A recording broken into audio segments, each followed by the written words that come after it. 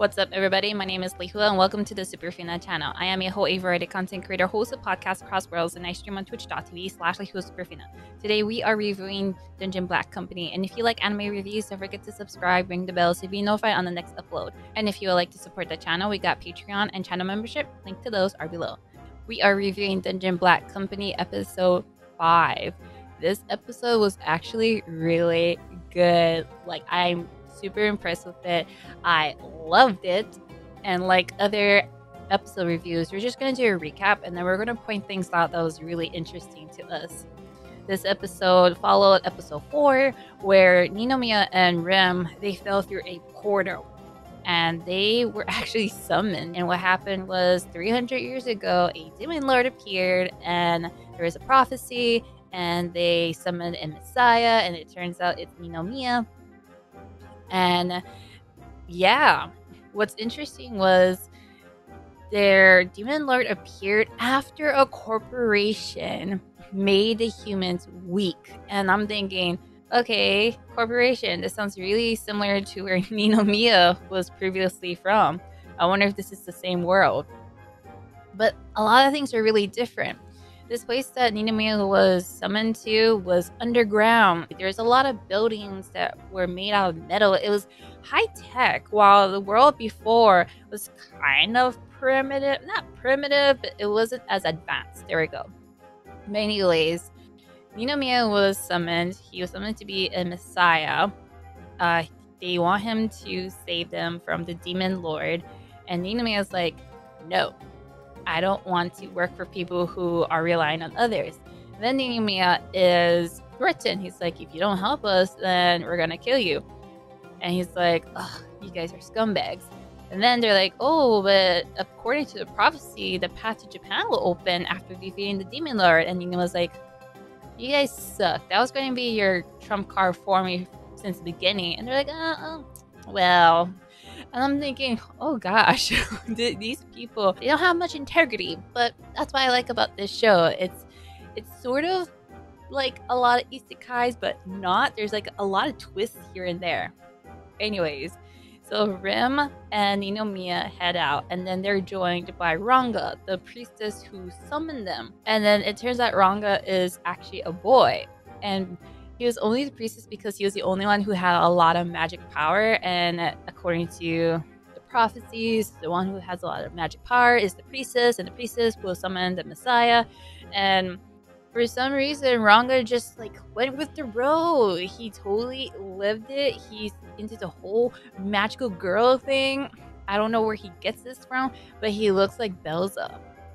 He looks like Belza, who was like in charge of the corporation where Ninomiya is from.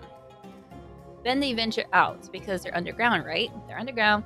They go out, and Ninomiya recognizes the place. He saw like a sort of American Statue of Liberty a Belza. That was kind of trippy. It totally reminded me of Planet of the Apes. If you haven't seen Planet of the Apes, it's about like this uh, astronaut who somehow goes to the future and he doesn't know he's on Earth until he sees the Statue of Liberty. So I think it was making fun of that. And um, as they're traveling, Rim gets hungry. So they're like, oh, shoot, we need to stop someplace. And Ranga's like, oh, there's the Demon Lord's castle. They get there, and it's not the Demon Lord's castle. But there's something interesting. There's a little, like, sort of engraving in the building, and it looks like an ant. So I was thinking, oh, I, I wonder if the Ant Queen is still around because this is the future. It turns out it's not the Ant Queen that's there, but Ant A. Ant A was there. He's the general and he has like an ant farm. And over there, he asked Ninomiya's help. He asked him to help make the humans that they conquered work. And it's really funny because he took everything he learned from Ninomiya about like human resources, fairness, and whatnot. He applied that to the humans that they conquer, but they're like, they still don't want to work. It was hilarious. And so Ninomiya was like, okay, I'll help you. And he somehow made the work system more competitive. They still like apply some like isekai stuff like enslavement. Well, not enslavement, but torture, uh, physical abuse. I would say physical abuse, but they also made it like it was a type of corporation and such. And they rewarded those who followed, and they physically hurt those who didn't follow, which created the comp- competitiveness, which also created people who want to be superior to others, which created others who felt inferior, and they're like, oh, I want to be up there too. So it was perfect. And Ninomiya, he was like living the life, and Ranga, even though Ranga's the priestess, he's like, I'm having fun because I'm actually out here. And Ranga's going all for it. Rima's there, all happy, eating food. Then Ninomiya goes back to the underground place that summoned him. He's like, I am now the general of Ant Farm, and uh, we're gonna rule over you now. So I'm your boss, and my bad. the people were like shocked. They looked betrayed, but it's kind of satisfying because the one who threatened to kill Ninomiya, he, oh, the look on his face, he was so shocked. He was like perplexed. He, it was hilarious. I, I felt really satisfied after seeing that. And for one episode to be so interesting, I loved it. What made this episode really interesting is Ninomiya was summoned. The first time he was transported to another world, it seemed like it was a fluke and such, and then he gets summoned. And he thought he got summoned to another world. So he was getting pissed off that he was just being moved from world to world. And then turned out that he was in the same one. He was still in Amuria, but 300 years later. And it was kind of like post apocalyptic. Like Raizaha did something bad, like shady. And it turned out that they got too power hungry. I think they got too power hungry. And they took over the world and they just made too much corporate grunts. The corporation made the humans weak. And then the demon lord took over. It was a perfect time for the demon lord to attack because there were not much people fighting, not much strength because everybody was like everybody was like kind of brain dead.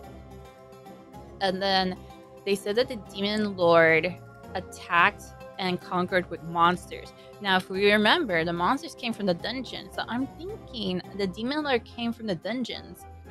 And the way that they show the demon lord, like the silhouette and such, it really looks like the ant queen. I'm not too sure if she's the demon lord, but I think she is.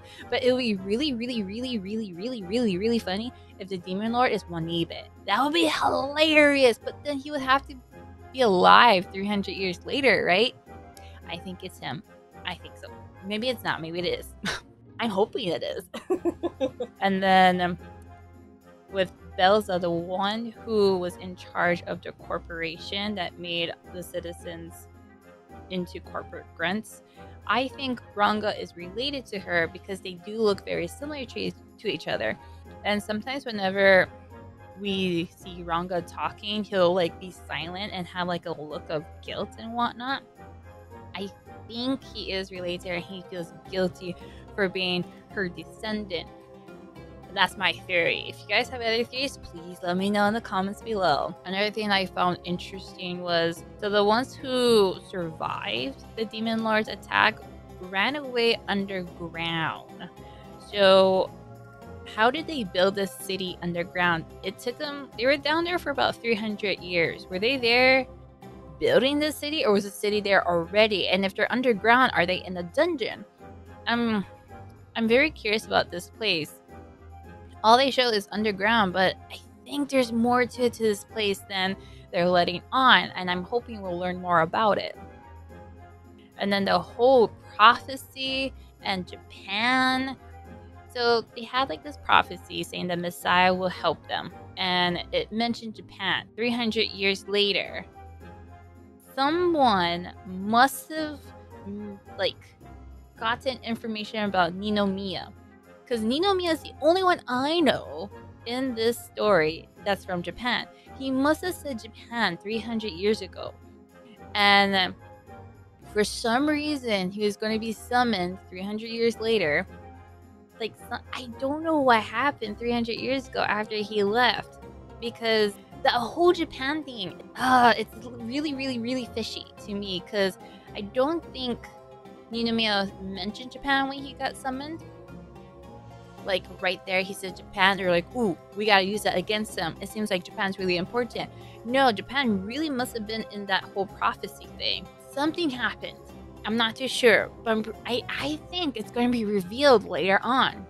And I think this was planned for Ninomiya to be brought 300 years later. Or if not, someone wanted Ninomiya to come back because he just disappeared, right? To everybody he knew, he just disappeared. I think someone wanted him to come back. And they just set up this whole thing just for him to be summoned. Now, I know I talked about Ranga before, but I do want to point out that I think it's hilarious that they made Ranga like a magical girl.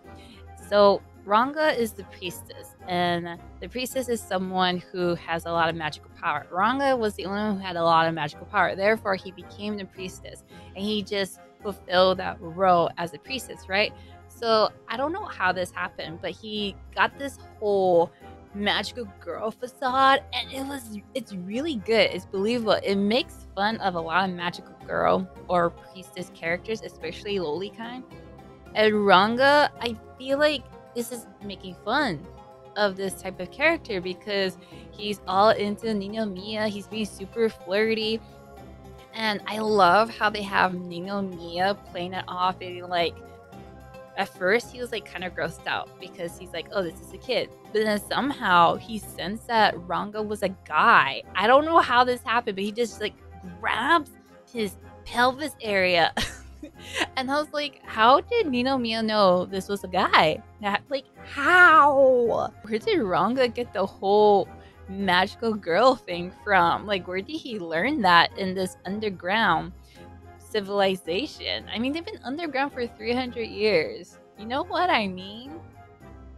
It's really funny how they have a dynamic between Ranga and Ninomiya because Ranga is still pushing for seducing Ninomiya in a very teasing way, and Ninomiya plays it off so well. He's like, You're too young to be sexy and whatnot.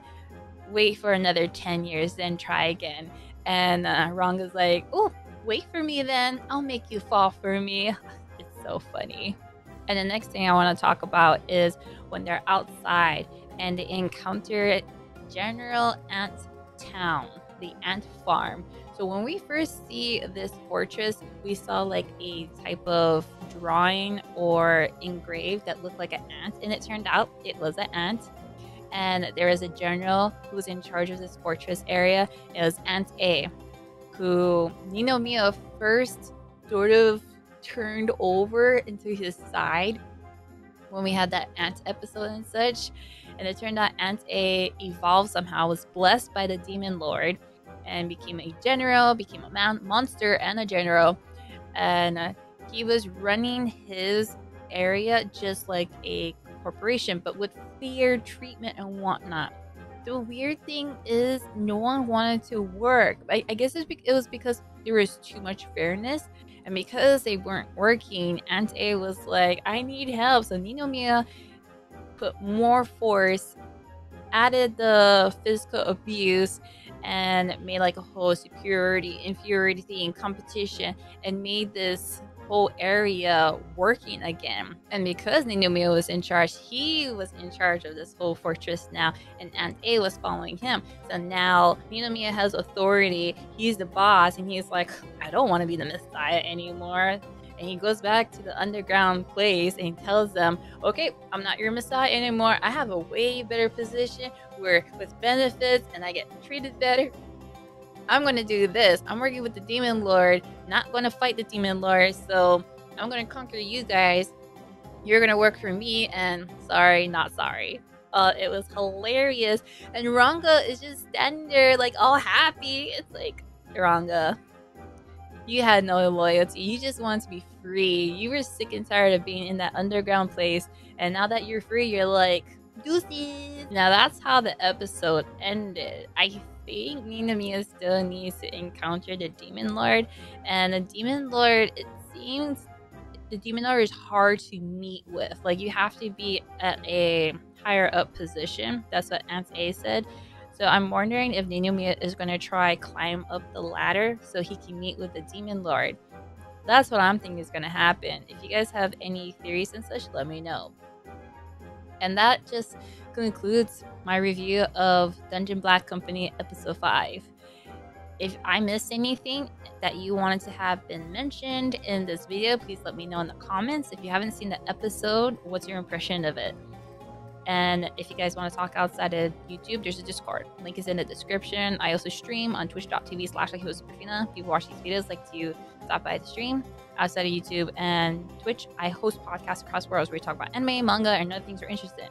If you like podcasts like that, link to the podcast is in the description. We're available on all platforms.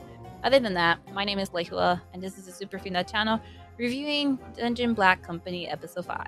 Hope you guys like this video, and I'll see you on the next one. Laters! Huge thanks to my Patreons and channel members for making this video possible.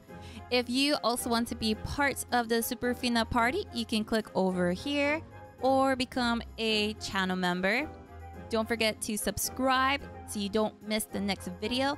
And I do stream live on Twitch every Tuesdays, Thursdays, and Saturdays.